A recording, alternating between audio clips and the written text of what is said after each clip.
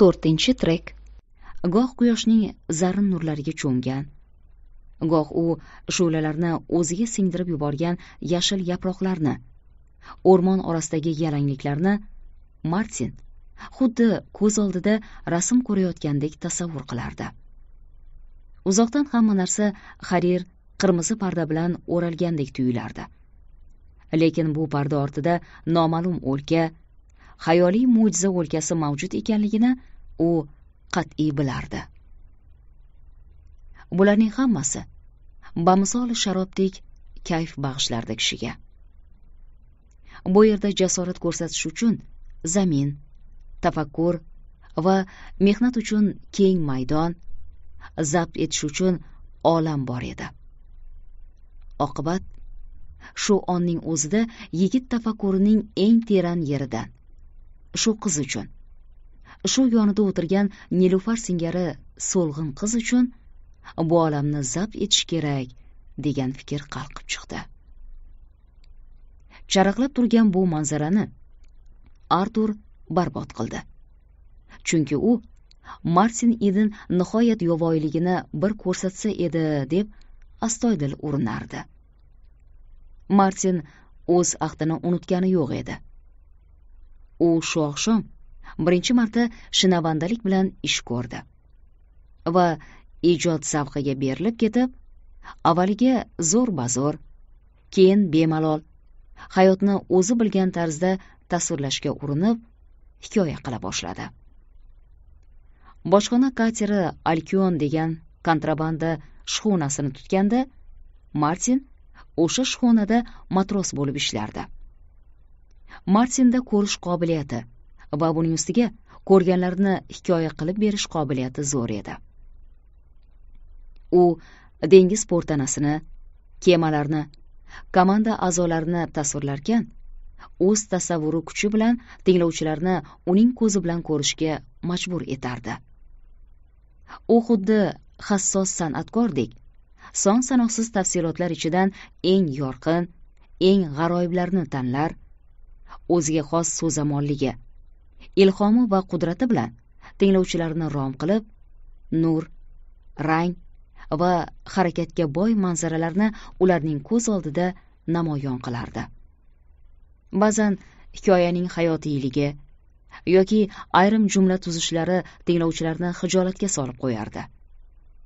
Lekin uning hikoyasidagi qo'pollik albatta go'zallik bilan fojia esa hayajon bilan. Dengizchilarga xos hozirjavoblikning ajoyib va sho'x namunalari bilan almashinib turardi. Martin idinning hikoyasi davomida ruf unga zavq bilan tikilib o'tirdi. Qiz uning taftida isinardi. Ruf umrida ilk dafa shuncha yildan beri qalb otashi nimaligini bilmay yashaganini payqadi. U kuch va sihat bamisoli lavadek qaynab toshayotgan bu yuragida o'ti bor. Baquvvat yigitning bag'riga o'zini otgisi kelardi. Bu istak shu qadar kuchli ediki qiz o'zini zo'rg'a bosib turardi. Lekin ayni vaqtda allaqanday his uni martindan chetlatardi. Qizni hammayog'i yara chaqa bo'lib terisiga hayot kiri singib ketgandek tuyulgan qadoq qo'llar bo'rtib turgan mushaklar yoqasi qizartirib yuborgan bo'yin o'zidan chetlatardi. Yigitning dag'alligi qizni cho'chitardi. Har bir qo'pol so'z qizning qulog'iga haqoratdek eshitilar. Uning hayotining har bir qo'pol tafsiloti qizning hissiyotini tahqirlar edi. Lekin shunday bo'lsa ham qandaydir nihoyatda dahshatli bir kuch qizni unga jazb etardi. Qizning ongiga mustahkam o'rnashib olgan narsalar birdaniga tebrana boshladi. Yigitning romantika va sarguzashtlarga boy hayoti uning uchun odat tusini olgan barcha shartli tasavvurlarni ostin ustun qilib yubordi. Qiz uning kulgisini xatarli hodisalar haqidagi quvnoq hikoyalarini tinglarkan hayot endi unga aslo jiddiy ham mashaqqatli ham bo'lmay qoldi. Bil'aks u hayot go'yo bir o'yinchoqqa o'xshardiki uni o'ynab har tomonga aylantirib ko'rishdan lazzat olish va hech achinmasdan qurbon berish mumkin edi. Mana sen ham o'yna derdi unga dohildan chiqqan ovoz. Uning bag'riga suqul agar istasang bo'ynidan quchog'la qiz bu istaklarning nechog'lik beandishaligidan hayratga keldi. Lekin u o'zini o'z ma'sumaligi madaniyati xullas o'zini yigitdan ajratib turgan barcha xususiyatlar haqida qancha o'ylamasin baribir befoyda edi. Ruf atrofida o'tirganlarga nazar tashlab ularning ham martinga mahliyo bo'lib quloq solayotganini ko'rdi. Lekin qiz onasining ko'zida ham dahshat alomatini zavq aralash bo'lsa ham har holda dahshat alomati borligini payqadi. Va bu hol qizga madad berdi. Ha bu zulmatdan chiqqan odam baloy azim. Onasi ham shuni ko'rib turibdi. Demak shu to'g'ri. Ruf doimiy odati bo'yicha hozir ham onasining so'ziga quloq solishga tayyor edi. Martinning o'tli harorati qizni isitmay qo'ydi. Uning ta'sirida tug'ilgan dahshat ham kuchini yo'qotdi. Ovqatdan so'ng qiz pinhona e'tiroz bildirish va ikkovlarini ajratib turgan jarlikni ongsiz ravishda yana ham kengaytirish istagida unga royal chalib berdi. Qiz chalgan musiqa martinni esankiratib qo'ydi. Boshiga tushgan kuchli bir zarbadek ta'sir etdi. Lekin esankiratib zarba berish bilan birga qalbini ham uyg'otdi. U rufga ehtirom bilan boqardi. Martin ham rufga o'xshab oralaridagi jarlik yanada kengayganini his qildi. Ammo shunga qaramay martinda bu jardan hatlab o'tish istagi ham tobora ortib borardi. U shu qadar serzavq va serg'ayrat yigit ediki oralarida paydo bo'lgan bu jarlikka yana boz ustiga musiqa sadosi yangrab turgan paytda mutiy odamlarday jimgina mo'ltirab o'tira olmasdi. Musiqa unga doim juda kuchli ta'sir qilardi. U xuddi o'tkir sharob singari qonini qizdirar kayfini oshirar va osmonu falakka uchirib olib ketardi. Uning yelkasida go'yo qanot o'sib chiqqanday bo'lardi. Manfur voqelik o'rnini nafosat va g'ayritabiiy narsalarga bo'shatib berib o'zi g'oyib bo'lardi. Martin rufning nima chalayotganini tushunmasdi albatta. Bu musiqa sadosi martin matroslar bazmida eshitgan buzuq pianinoning ovoziga yoki orkestrning quloqni kar qiluvchi zil ovoziga aslo o'xshamasdi. Lekin u ba'zi ba'zida kitoblarda shunday musiqa borligi haqida o'qirdi. Shuning uchun ruf chalayotgan musiqada o'zi eshitib odatlangan oddiy va aniq bir ohangni ilg'ab ololmay uni shu holicha inobatga olaverdi. Onda sonda u ohangdor kuy eshitib qolganday bo'lar va ko'z oldida jonlangan qator obrazlarni shu ohangga moslashtirishga shaylanardi. Lekin shu onning o'zida aralash quralash tovushlar olamiga tushib garang bo'lar va uning tasavvuridagi o'ylar. Tayanchini yo'qotgan og'ir buyumdek nochor yerga gursillab tushardi. Hatto bir marta martinning xayoliga bu qiz meni mazax qilmayaptimikin tag'in? degan fikr ham keldi. Qizning chalishida adovat borga o'xshab tuyulardi. Shu sababli u qizning pianino klavishlariga urilayotgan qo'llari nima demoqchi bo'layotganini anglashga harakat qilardi. Lekin bu nomaqbul mulohazani shosha pisha miyasidan haydadi va erkinlik bilan o'zini musiqa ixtiyoriga topshirishga urindi. Boyagi shavq zavq uni yana sekin asta qamrab oldi. Uning oyoqlari go'yo yerdan uzilgandek jismi ruhga aylangandek ko'z oldida nurga g'arq bo'lgan ajib bir manzara namoyon bo'lgandek tuyuldi. Atrofidagi butun borliq ko'zdan g'oyib bo'ldi. U endi ko'p zamonlardan beri o'zi orzu qilib yurgan noma'lum bir olam uzra parvoz qilib yurardi. Ko'zdan nari ketmaydigan bu manzarada barcha tanish va tanish bo'lmagan narsalar ayqash uyqash bo'lib ketdi. U noma'lum jazirama mamlakatlarning gavonlariga tushar hech kimga ma'lum bo'lmagan yovvoyi qabilalarda yashovchi qishloqlarning gavjum maydonlarida tentirab yurardi.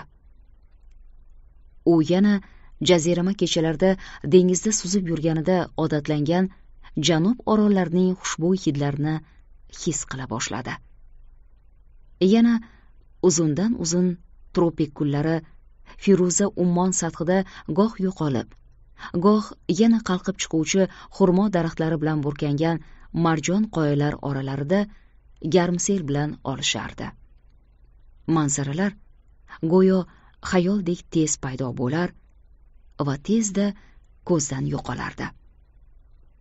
Goh arizonaning quyoshda qovjiragan sahrosida ot choptirib borar goh bir zumdan keyin cho'g'dek qizigan havoning harir pardasi orqali kaliforniyaning ajal vodiysidagi oq daxmaga nazar tashlar yoki ulkan muz parchalari quyoshda yarqirab yotgan muz okeani to'lqinlari ustida eshkak solib borardi. Goh marjon orolida dengiz toshqinining bir me'yordagi shovullashiga quloq solib kokos palmasi soyasida yotardi. Falokatga uchragan eski kemaning uskunasi ko'kimtir alanga olib yonar va shu sirli o't shu'lasida ashulachilarning serzavq xonishlari gavay gitarasining sadosi va tamtamlarning do'pir do'piri ostida raqqoslar gulu raqsiga o'yinga tushardi. Kishini lohas qiluvchi tun har yoqni chulg'ab olgan uzoqda yulduzlar charaqlagan osmon ostida vulqon ko'lankasi gavdalanardi so'lg'in oy odamlar boshi uzra asta sekin suzib borar. Ufqda zamin va samo qariyb tutashgan joyda esa tarozi yulduzi charaqlardi. Martin go'yo eol arfasiga aylangandek bo'ldi. U o'z hayotida ko'rib boshidan kechirgan narsalar arfaning torlari musiqa esa shu torlarni tebratayotgan shamol edikim bu torlar titrarkan xotiralarni uyg'otib yangi orzularni tug'dirardi. U shunchaki his qilibgina qolmasdi. Uning har bir tuyg'usi muayyan bir shakl va rang kasb etar va allaqanday g'aroyib va sirli yo'l bilan obrazlarga aylanar edi. O'tmish hozirgi zamon va kelajak bir biriga qorishib ketar. U bepoyon jazirama va go'zal o'lkalarga parvoz qilar. Qizga muyassar bo'lish uchun buyuk qahramonliklar ko'rsatardi. Mana u orzusiga erishdi. Qizga muyassar bo'ldi. Uni o'z bag'riga bosib endi xayol o'lkasi sari olib ketadi. Ruf yelkasi osha martinga qarab uning yuzidan nimani his qilayotganini bilib oldi. Yigitning yuzi hozir butunlay boshqa odamning yuziga o'xshar. Katta katta o'tdek chaqnab turgan ko'zlari tikilib go'yo musiqa sadosi pardasini teshib o'tib u yerdagi jo'shqin hayotni va uning bahaybat sharpalarini mushohada qilayotganda edi. Qiz hayratga keldi. Qo'pol. Besunaqa yigit g'oyib bo'lganday edi. Beo'xshov tikilgan kostyum yara chaqa qo'llar oftobda qoraygan yuz hamon qizning ko'z oldida turardi-yu lekin endi bularning hammasi unga faqat qamoqxona panjarasidek gap ediki qiz bu panjara orqasida ojiz va lol qolgan buyuk qalbni ko'rdi. U shuning uchun lol ediki bu qalb his etgan narsalarni ifoda etishga qodir so'z topolmas edi. Lekin bu manzaralar rufning ko'z oldida bir so'mgina namoyon bo'ldi-yu so'ng yana beso'naqay yigit gavdalandi. Shunda qiz o'zining xom xayollaridan kulib yubordi. Biroq ana shu bir zumlik taassurot xotirada saqlanib qolgan edi. Shuning uchun martin ruf bilan xayrlashgani uning oldiga o'ng'aysizlik bilan yaqinlashganda u yigitga soenbern va brauningning kitobini berdi. U ingliz adabiyotidan hozir brauningni o'tayotgan edi.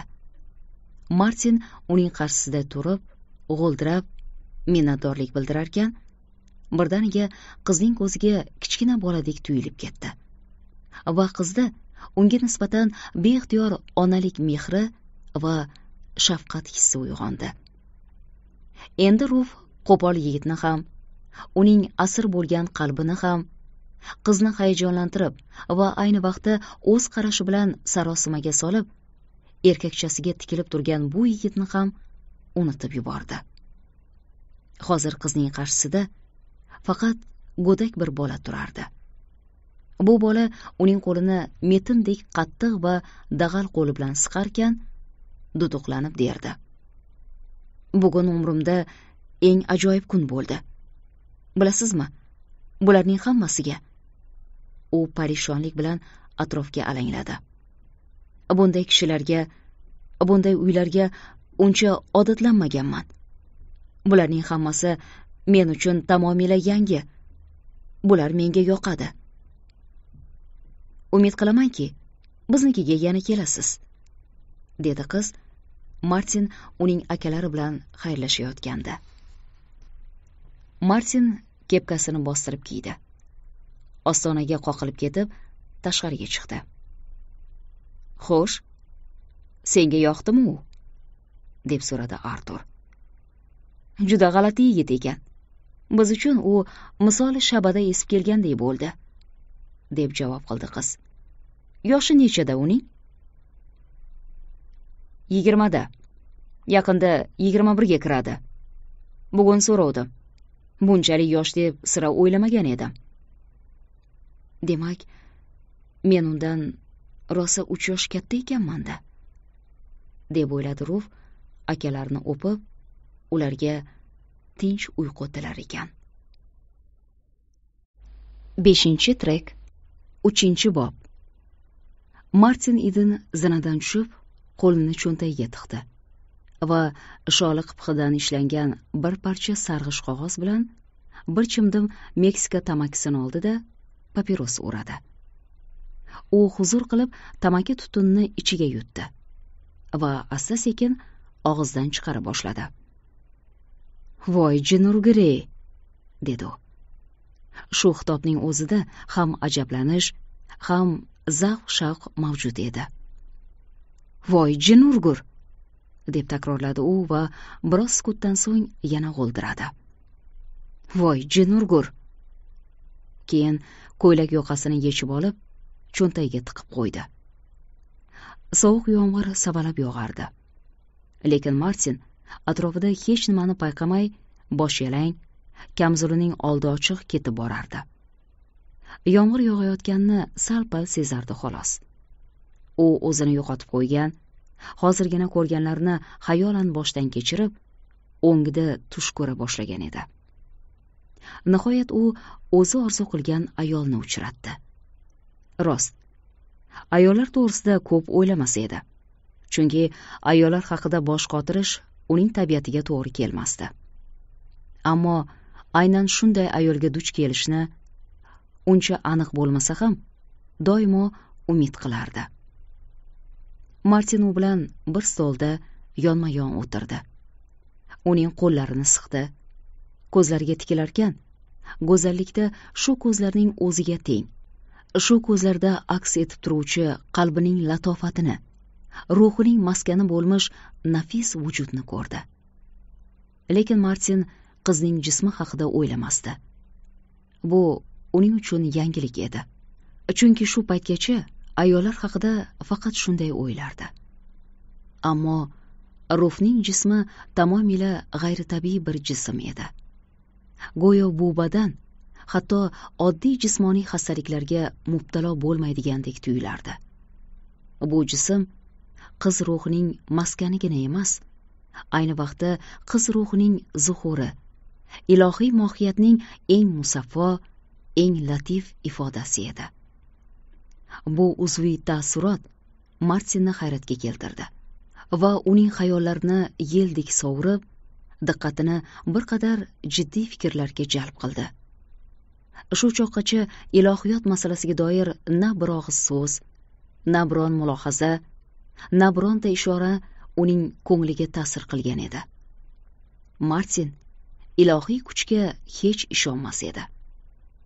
U hech qachon dindor bo'lgan emas va inson ruhining boqiyligi haqida vasxonlik qiluvchi ruhoniylar ustidan beg'araz kulib yurardi.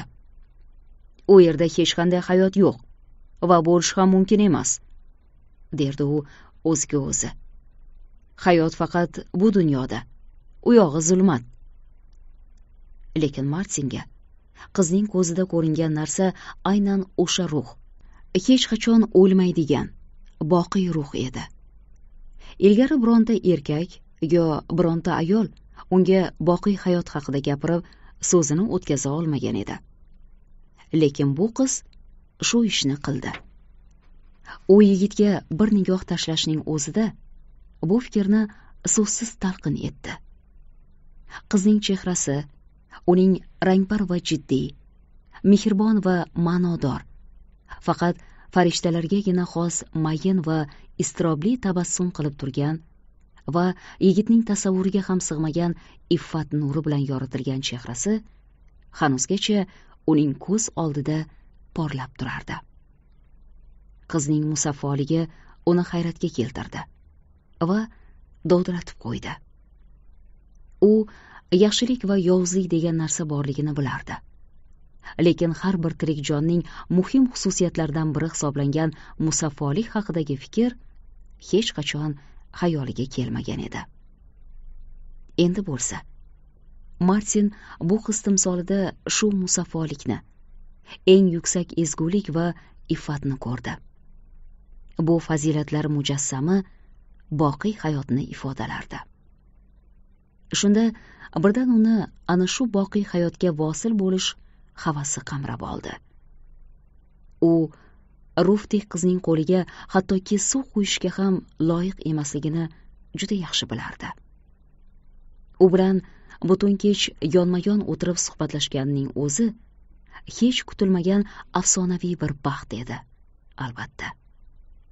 Bu baxtga muyassar bo'lmoq uchun u hech qanday zahmat chekkani yo'q. U bunday baxtga loyiq emas edi. Martin diniy kayfiyatga berilib ketdi.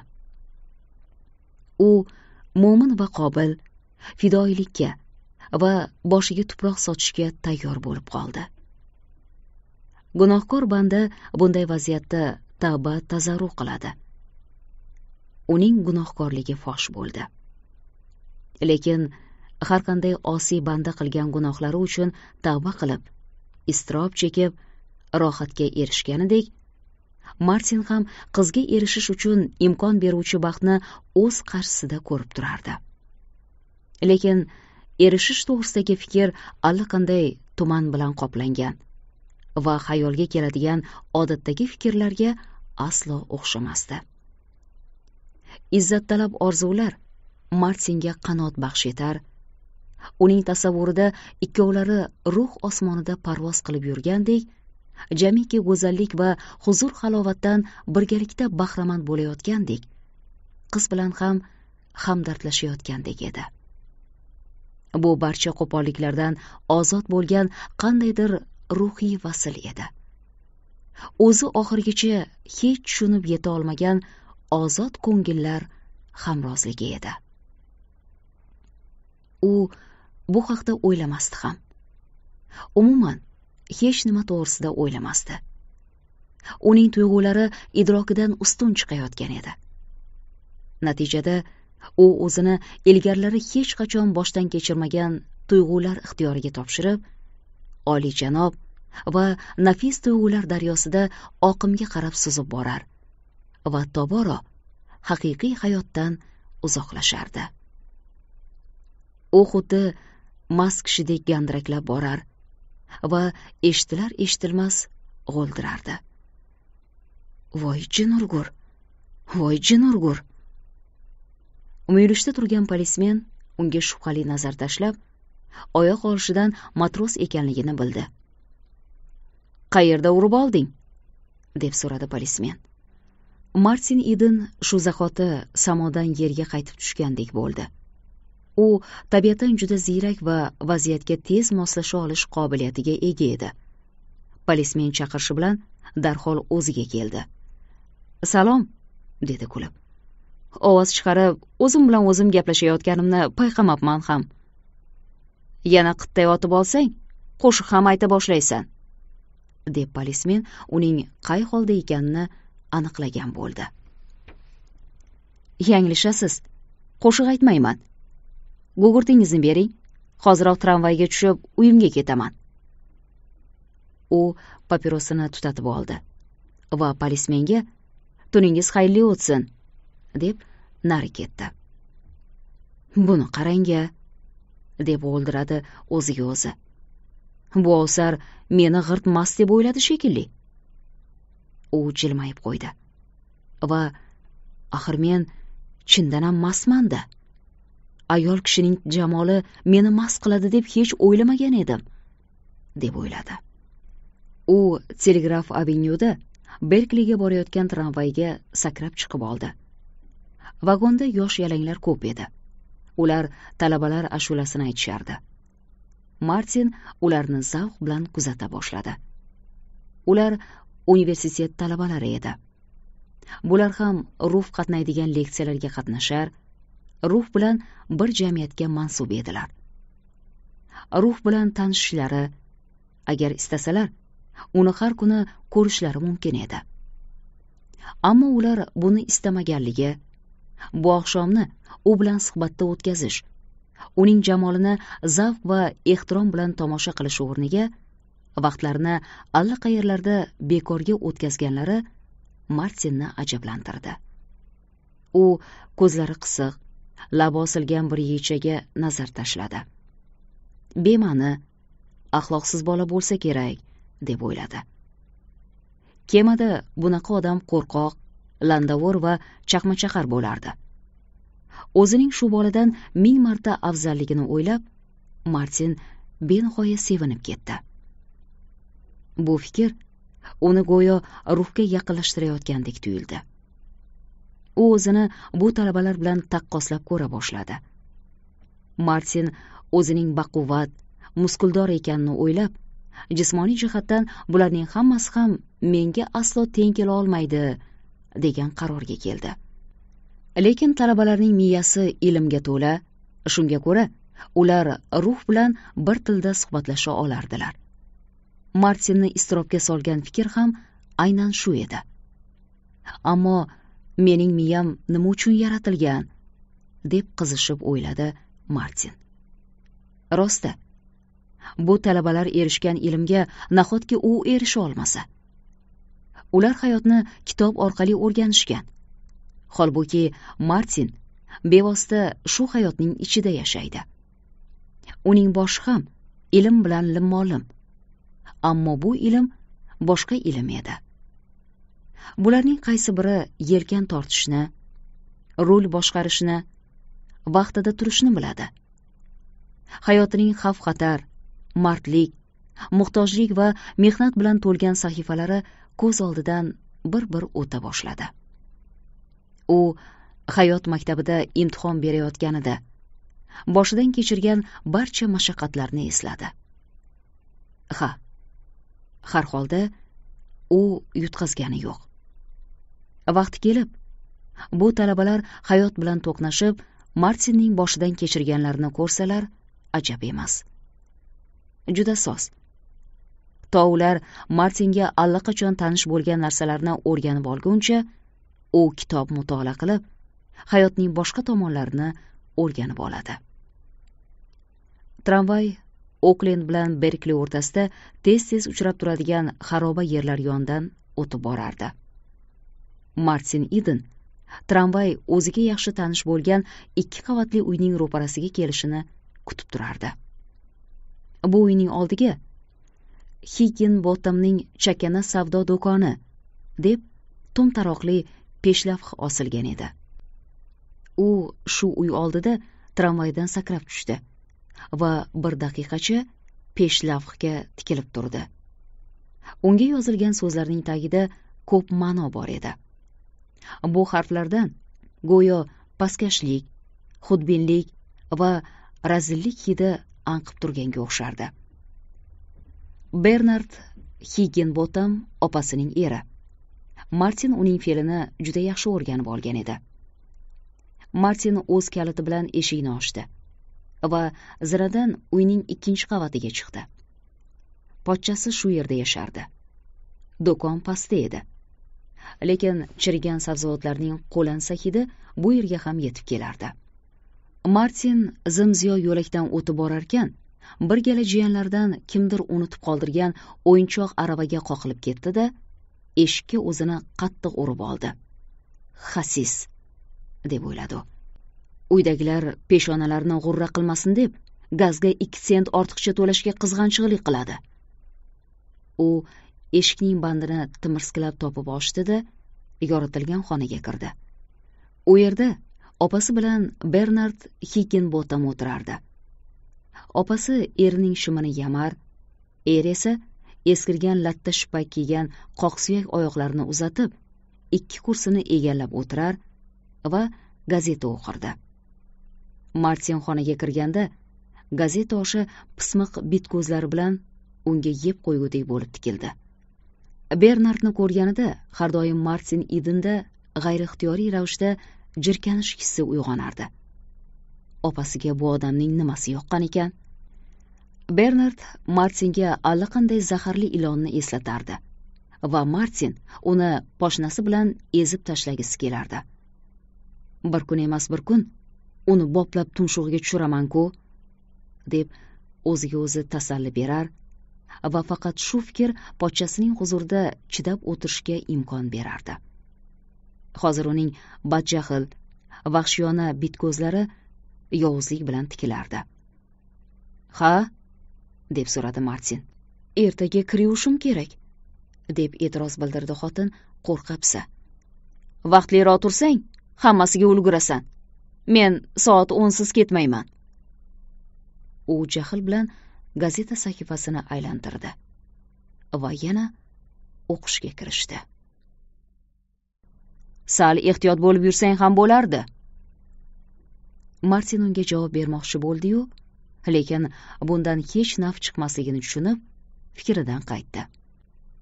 U jirkanish tuyg'usidan o'zini xalos etish niyatida devorda osilib turgan xromolitografiyaga qaradi. Qaradi-yu taajjublandi.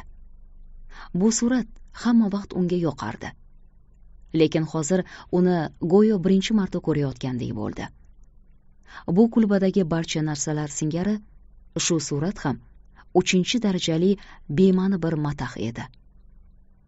Birdan uning ko'z oldida hozirgina o'zi chiqib kelgan uy gavdalandi shunda u avvaliga devorlardagi suratlarni keyin esa xayrlashuv paytida navozish tabassum bilan qo'lini siqqan qizni ko'rdi. U o'zining qayerdaligini bernard higginbotamning shu yerda o'tirganini ham unutib qo'ydi. Faqat nomi yuqorida zikr etilgan jentlmenning unga nima ko'zingga arvoh ko'rindimi deyman? deb bergan savolidan keyingina esini yig'ib oldi. Martin o'ziga keldi. Va pochchasining johil ayyor bit ko'zlariga tikilib birdan bu ko'zlar xaridorga mol sotayotgan paytda yaltoqilik bilan mulozamat bilan ko'r ko'rona xushomad bilan qarashini esladi. Ha deb javob berdi martin. Ko'zimga arvoh ko'rindi. Xayrli tun xayrli tun gertruda u eshik tomon yurdi. Yo'l yo'lakay chang bosgan gilamning taxiga qoqilib sal bo'lmasa yiqilayozdi. Eshikni qattiq yopma deb qichqirdi mister higginbotam ogohlantirib. Qon martinning miyasiga urildi lekin o'zini tutdi va chiqa turib eshikni ohista yopdi. Mister higginbotam xotiniga gapim to'g'ri chiqdimi? deganday qarab qo'ydi. Mast dedi u xirqiroq ovoz bilan pichirlab. G'irt mast bo'lib keladi deb aytuvdim a xotin itoatkorona bosh irg'adi. To'g'ri ko'zlari chaqnab turibdi deb tan oldi u. Yoqasiyam qayoqqadir yo'l olibdi. Uydan yoqa taqib chiqib ketuvdi. Lekin unchalik ko'p ichmagandir deyman. Oyog'ida zo'rg'a turibdi deb e'tiroz bildirdi er. Razm solib turuvdim qoqilmasdan bir qadam ham qo'ya olmadi. Yo'lakda yiqilib tushishiga sal qolganini eshitdingmi o'zing? Alisaning aravachasiga qoqilib ketgan bo'lsa kerak deb javob qildi xotini. Qorong'ida ko'rmagandir. Mister higginbotam xuruj qilib kelayotgan g'azabiga erk berib o'shqira boshladi. U kun bo'yi xaridorlar oldida kamtarlik bilan qo'l qovushtirib turar va nihoyat oilasi davrasida o'zini ko'rsatish uchun kech kirishini kutardi. Mehribon ukang mast deb aytyapman senga. U har bir so'zni go'yo dastgohda muhrlayotgandek lo'nda lo'nda qilib yoqimsiz va qat'iy ohangda talaffuz etardi. Xotini ma'yuslanib jim qoldi. U hamisha palapartish kiyinadigan hamisha o'z gavdasining ishining og'irligidan va erining badfe'lligidan tinka madori qurigan baq baqaloq xomsemiz ayol edi. Mayxo'rlikda otasiga tortdi buning deb gapida davom etdi er prokurorlarga xos ohangda. Bu ham birorta pasqam yerda ichkilikdan o'lib ketadi esingda bo'lsin. Xotin yana bosh irg'atdi va chuqur xo'rsinib yamog'ini yamashga kirishdi. Ikkovlari ham martinni uyga mast bo'lib keldi deb o'ylashgandi. Ularning qalbi har qanday nafosatga nisbatan ham beparvo edi. Aks holda bu chaqnab turgan ko'zlar lov lov yonib turgan yonoqlar ilk yoshlik muhabbatining aksi ekanligini tushungan bo'lardilar. Bolalarga juda yaxshi o'rnak ko'rsatyapti-da deb mister higginbotam birdan qichqirib yubordi. Xotinining jim o'tirganidan xunob bo'lib. Ba'zan u xotinining tez tez e'tiroz bildirib turishini istab qolardi. Agar yana bir marta shu alfozda kelsa uyimdan yo'qolsin. Bildingmi? Begunoh bolalar uning badmast basharasiga qarab axloqsiz bo'lib ketishini istamayman. Mister higginbotam hozirgina gazetada o'qigan so'zlarini gapda ishlatishni yaxshi ko'rardi. Ha axloqsiz bo'lib ketishini. Boshqacha ta'riflab bo'lmaydi buni. Lekin xotin boyagi boyagicha faqat xo'rsinar bosh chayqar va yamoq yamashda davom etardi. Mister higginbotam yana qo'liga gazetani oldi. O'tgan hafta uchun haq to'laganmi o'zi? deb so'radi birdan gazeta osha qarab. Xotin ha degandek boshini egdi. Uning puli bor hali. Qachon dengiz safariga jo'nab ketarkan? Hamma pulini sarflab bo'lgandan keyin ketsa kerak deb javob qildi xotin. Durustroq kema yo'qmikin deb kecha san fransiskoga ham borib keldi. U yonida puli bor vaqtida duch kelgan kemaga yollanavermaydi. Mulohazali yigit. Obbo paluba shpirgisiga kekkayishni kim qo'yibdi? Mister higginbotam zaharxanda qildi. Mulohazali emish. Gapini qaraya uzoq yillarga xazina qidirgani boradigan bir shxuna bor ekan. Agar shu shxuna jo'naguncha yeb ichib turishga puli yetsa o'shanda ketmoqchi.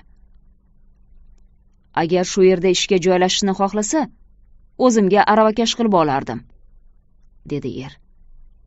Lekin uning so'zlarida xayrixohlikdan asar ham yo'q edi. Tovim bo'shab ketdi. Xotin yuragi taka puka bo'lib unga savol nazari bilan qaradi. Bugun hisob kitob qildi. U karuzerslarga ishga o'tyapti. Ular ko'proq haq to'larkan. Men uncha to'lolmayman ana ko'rdingmi? deb chinqirib yubordi xotin. Aytmovdimmi senga? Ishi og'ir bo'lsa ham juda oz haq to'larding unga. Menga qara kampir deb jerkib berdi mister higginbotam aralashma deb senga ming marta aytganman. Endi takrorlab o'tirmayman. Menga ku baribir deb ming'irladi xotin. Faqat tom yaxshi bola edida. Er darg'azab ko'zlari bilan xotiniga yalt etib qaradi. Bu erga nisbatan hurmatsizlik edi. Agar ukang yalqov bo'lmaganda aravakashlikni o'zi qilardi. U ovqat bilan kvartira pulini vaqtida to'lab turibdi deb e'tiroz bildirdi xotin. U mening ukam sendan hech qanday qarzi yo'q. Unga tirg'alishga haqqing yo'q. Keyin men ham odamman. Sen bilan rosa yetti yildan beri bekorga bir yostiqqa bosh qo'yib kelayotganim yo'q. Kechalari kitob o'qiydigan bo'lsang gaz haqini to'laysan deb aytdingmi unga? deb so'radi er. Missis higginbotam hech nima demadi. Uning g'azabi endi so'ngan ruhi esa yana tinkasi qurigan jasadining bir burchiga kirib yashiringan edi. Er mamnun edi. U ustun chiqdi. Uning munchoqdek bit ko'zlari g'arazli sevinchdan chaqnab ketdi. U xotinini ipakdek muloyim qilishdan behad zavqlanardi.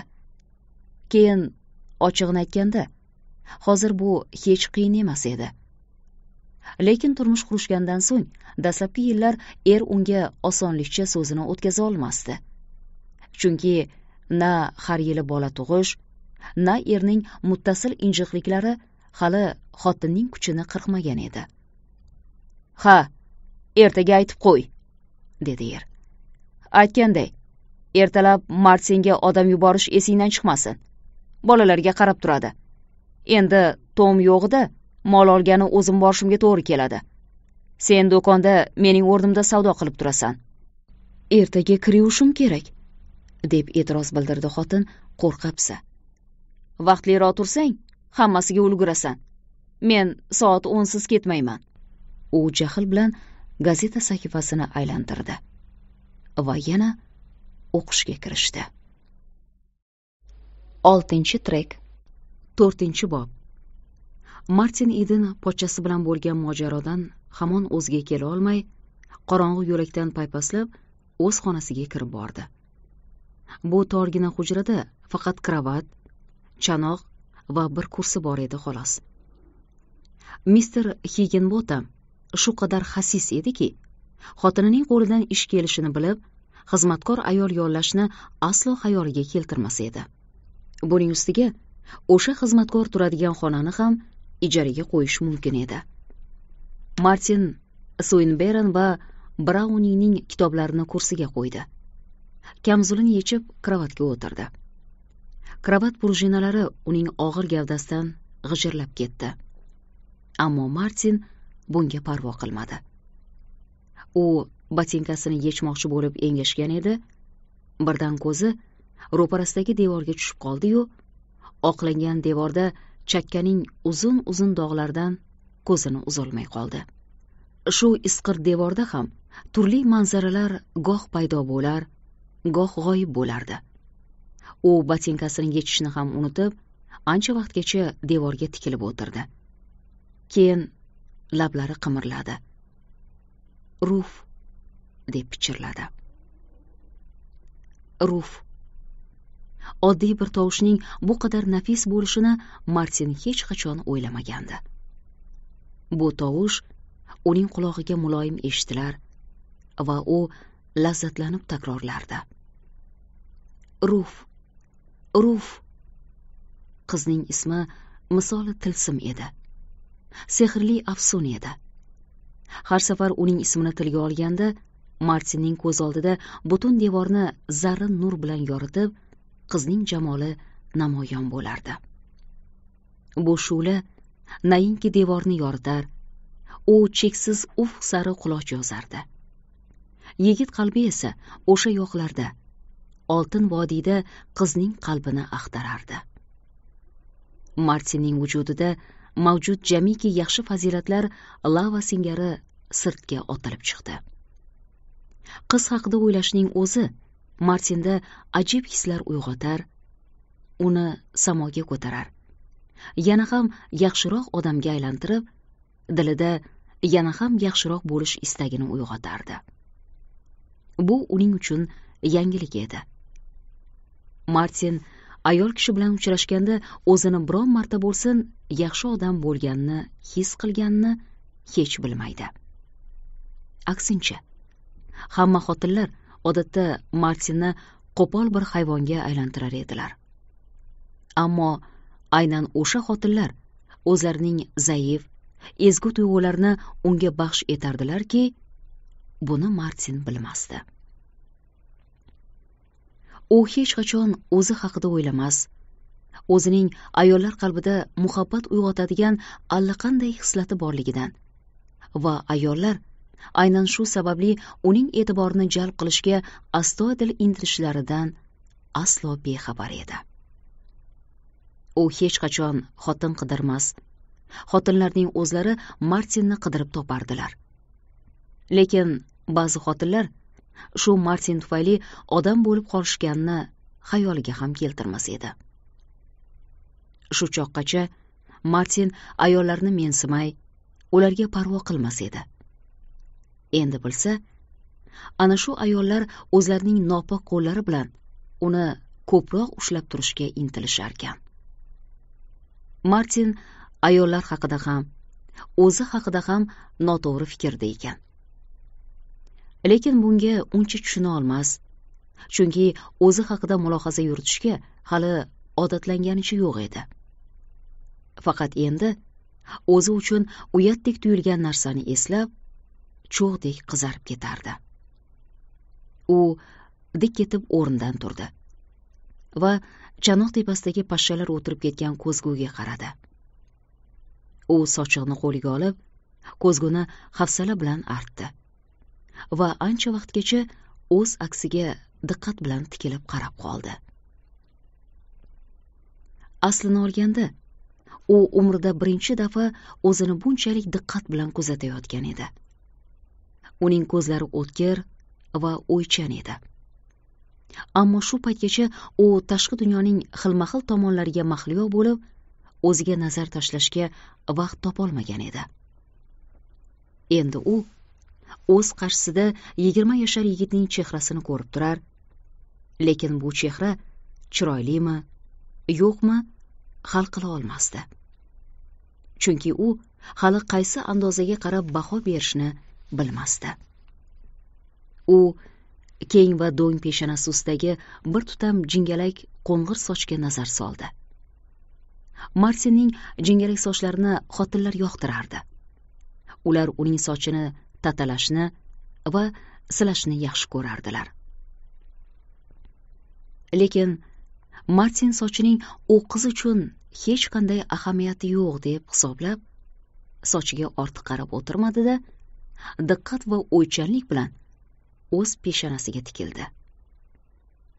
U go'yo o'tkir nigohlari bilan o'z peshonasini teshib uning ichida nima borligini bilmoqchiga o'xshardi. U zo'r berib o'ziga o'zi savol berardi. Miyam qanaqa o'zi? Bu miyam menga nima bera olarkin? Shu miyam bilan nimaga erisha olaman? U qizga muyassar bo'la olarmikinman? Martin ko'pincha xuddi quyosh shu'lasiga g'arq bo'lgan dengizdek lojuvard tusga kiruvchi bu qo'y ko'zlarimda qalbim aks etarmikin? deb o'zidan o'zi so'rardi. Ko'zlarim unga yoqarmikin? Yo'qmi? deb savol berardi martin. U o'z ko'zlariga chetdan turib uning ko'zlari bilan qarashga urinib ko'rdi.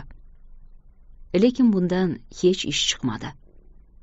U odatda boshqa odamlarning dilidagini osonlik bilan topib olardi. Negaki martin u odamlarning hayotini juda yaxshi bilardi.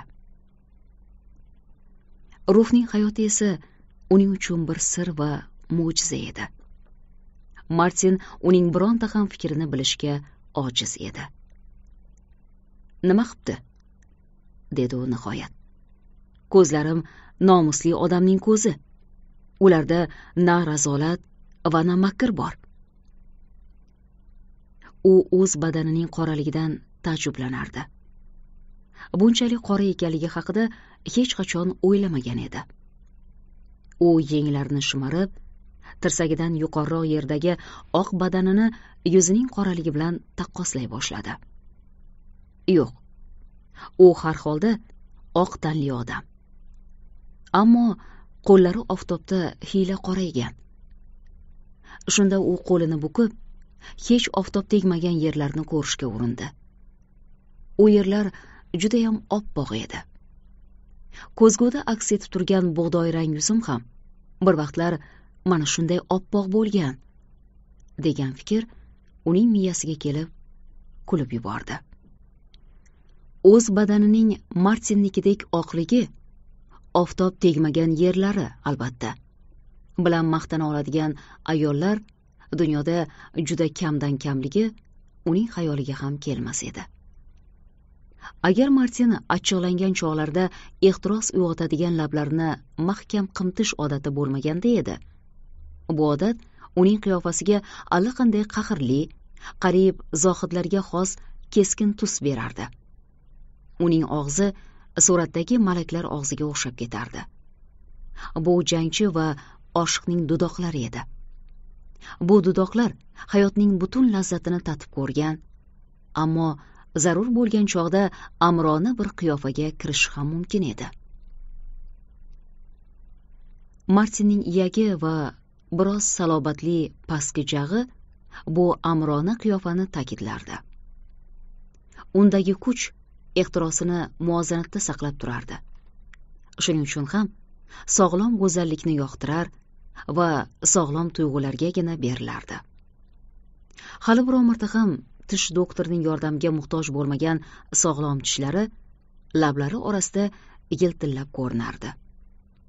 Tishlari oppoq baquvvat va tep tekis edi martin tishlarini sinchiklab kuzatgandan keyin shu qarorga keldi. Lekin shu zahotiyoq xijolat chekdi.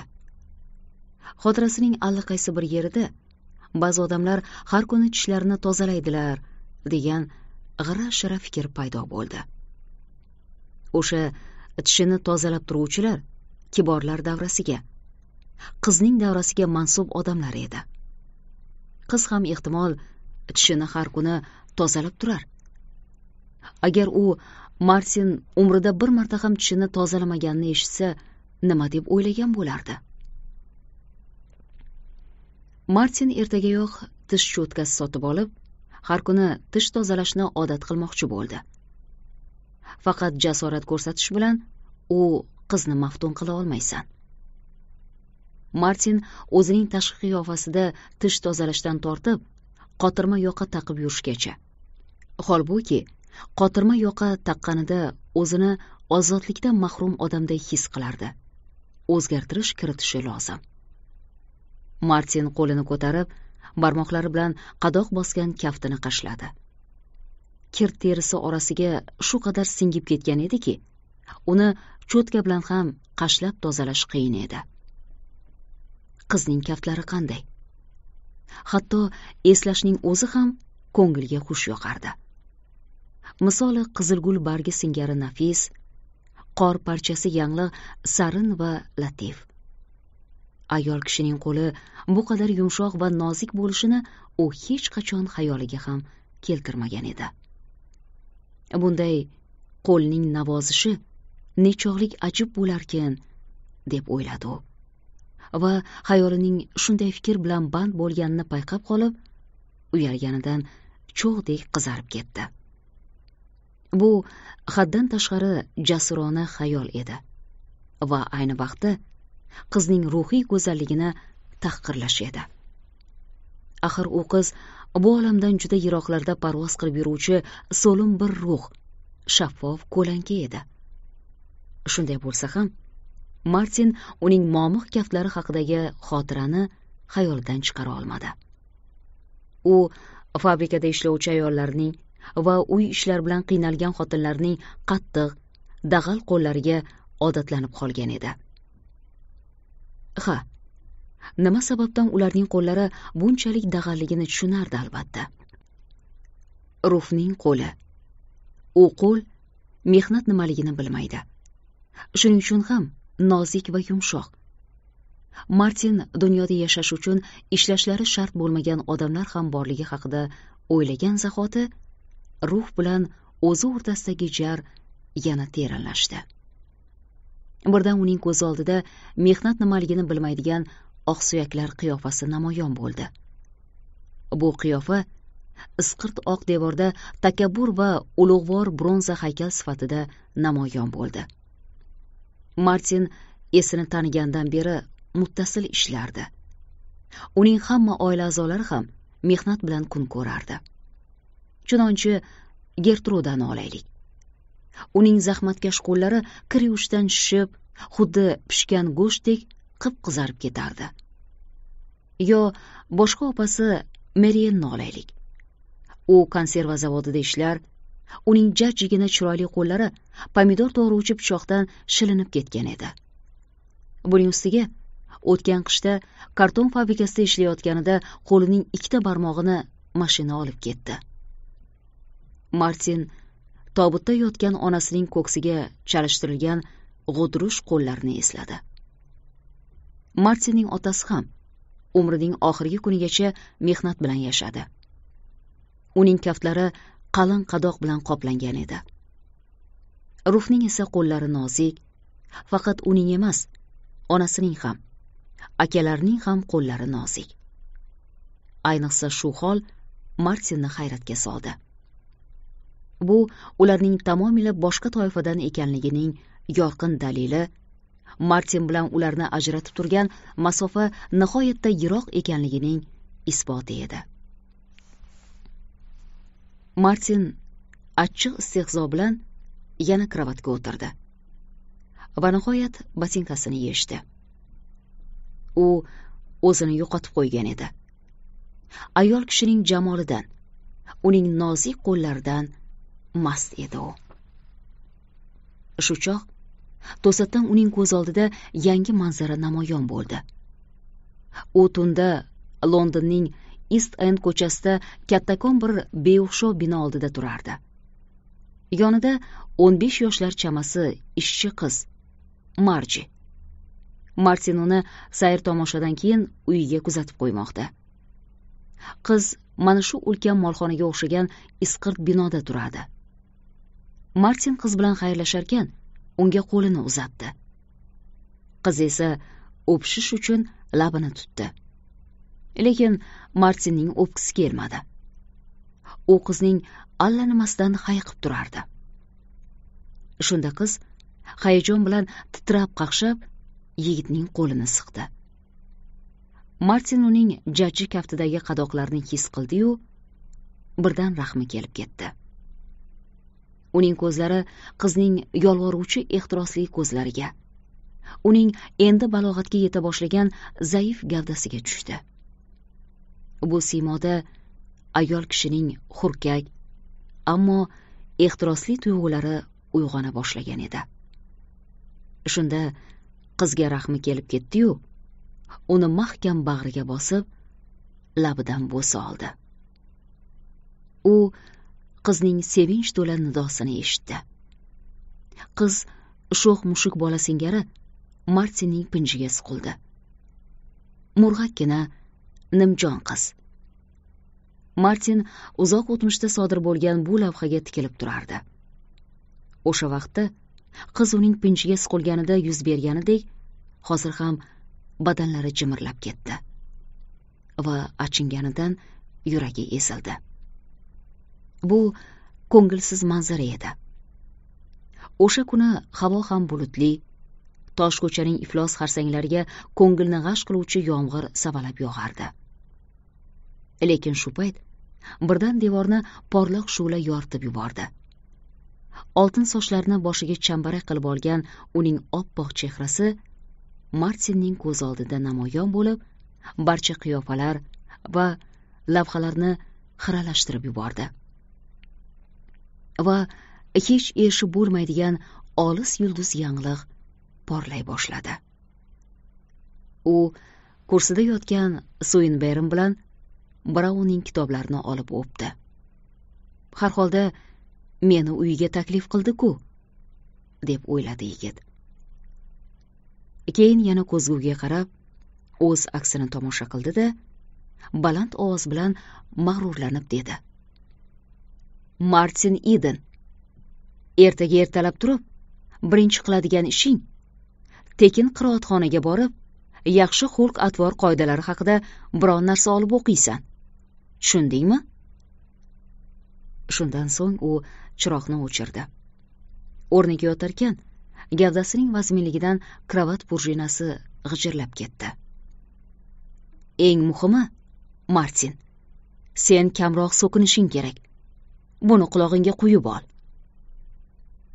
Shu so'zlar bilan asta uyquga ketdi.